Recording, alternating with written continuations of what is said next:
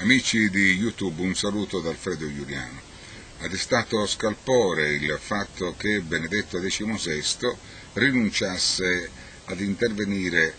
all'invito che gli era stato fatto dall'Università Romana La Sapienza per l'inizio dell'anno accademico. Ovviamente c'era stata una contestazione già preparata che avrebbe dovuto il Santo Padre sorbirsi. Certamente questo è un grande teologo a cui non gli si può rimproverare molto, visto che è stato sempre sulla breccia di un'ortodossia che non ha nulla a che vedere con il fondamentalismo islamico o con l'ortodossia islamica o panislamica. Questo è un Papa eh, che prima di tutto è un teologo, allo stesso tempo ha restituito al soglio di Pietro anche una figura politica.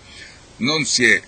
certamente accattivato le simpatie degli italiani per ciò che concerne i dico, per ciò che concerne la situazione della famiglia, una famiglia che riguarda ovviamente il desiderio dei gay o di altre situazioni che in questo momento eh, vorrebbero trovare legittimità è una casa nel mondo cattolico, una casa ricettiva, una casa che capisse i problemi della famiglia o di nuovi soggetti che vogliono stare insieme, che intendono naturalmente mettere su famiglia, una famiglia eh, che ovviamente venga riconosciuta da chi? Autorevolmente da quel referente diretto. Io sono cattolico e chiedo ovviamente alla mia Chiesa, alla mia fede, che mi riconosca anche dei diritti che in questo momento eh, si avvicinano a diventare costituzionali, ma che sono reietti, sono addirittura del tutto antipatici, scartati, antietici, antireligiosi, contro tendenza rispetto a quello che è il volere è quello che in fondo è anche l'apparato organizzativo, il modo di capire, di intendere insomma, della Chiesa cattolica, una Chiesa non al passo con i tempi, una Chiesa che fin dai tempi, ma molto prima eh, di Galileo Galilei, ha sempre rinunciato ad approvare eh, quelli che erano i dettami della scienza, le scoperte, ma anche se vogliamo il fatto che in Africa vi sia un problema serissimo e gravissimo come quello dell'AIDS, quindi del virus dell'HIV, che sta seminando la morte, che naturalmente contagia milioni e milioni di cittadini africani. Di fronte a questa situazione esplosiva la Chiesa si nega perfino un profilattico, un contraccettivo, quindi i problemi per contestare eh, un Papa eh, del tutto grande dal punto di vista della figura rappresentativa di una Chiesa cattolica che si affaccia in questo nuovo secolo, ma Benedetto XVI fino a questo momento non ha dimostrato ovviamente di gradire alcuni cambiamenti, alcuni mutamenti ovviamente dal suo punto di vista, dal punto di vista della Chiesa cattolica, che attanagliano la società e che chiedono risposte soprattutto dall'apparato religioso, a cui ovviamente questi referenti che vogliono cambiare famiglia o che propongono un aspetto del diritto della famiglia nuovo, ovviamente tutto questo in questo momento eh, cade, non c'è. Eh, ovviamente i giovani sono i primi a risentirsi nei confronti della Chiesa, ma era giusto far sì che eh,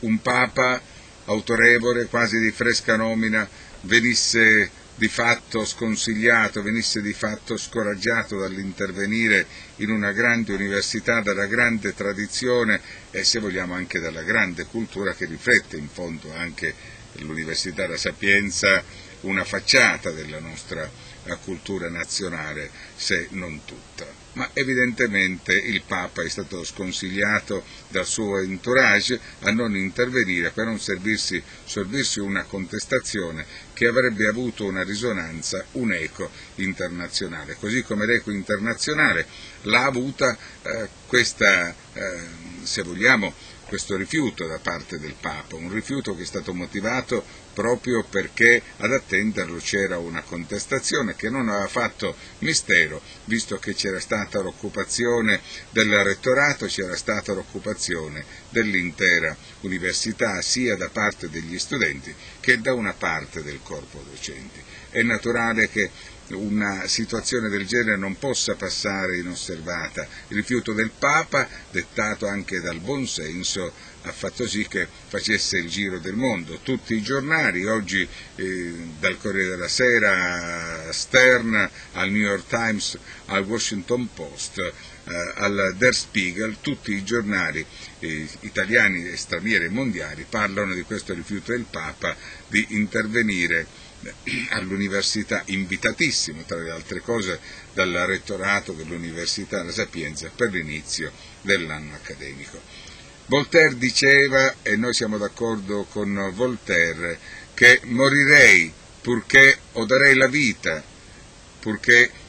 anche il mio peggior nemico possa esprimersi e dire cose che io non penso, che non condivido, ma è giusto che il mio nemico possa parlare, possa esprimersi. Ebbene al Papa comunque bisognava dare anche una possibilità di poter parlare, non solo perché rappresenta dagli 800 al miliardo di cattolici nel mondo, ma perché comunque il dibattito sarebbe stato grandemente vivo proprio perché ognuno poteva portare eh, le proprie esperienze, la propria maturità, le proprie convinzioni su temi che riguardano l'aggregazione della famiglia o delle nuove famiglie. Questo ovviamente diniego del Papa,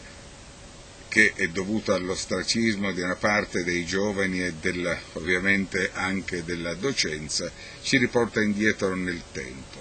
Non ha nulla a che fare con il 68 questo episodio, ma di certo è un episodio che ne innescherà degli altri, anche perché i giovani oggi vogliono avere voce in capitolo, ma la voce in capitolo, credetemi, non è la Chiesa di questi tempi che la frena, è la politica, quella politica che non crede nei giovani, che non vuole i giovani perché